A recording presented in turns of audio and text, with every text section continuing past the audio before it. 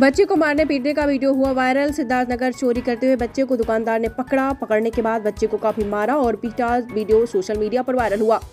उसका बाज़ार के थाना अंतर्गत उसका राजा का बताया जा रहा है वायरल वीडियो। बच्चे को दुकानदार ने गाली देते हुए काफ़ी मारा और पीटा। आज का बताया जा रहा वायरल वीडियो। सिद्धार्थनगर से हमारे संवाददाता नियामतुल्लाह की खास रिपोर्ट।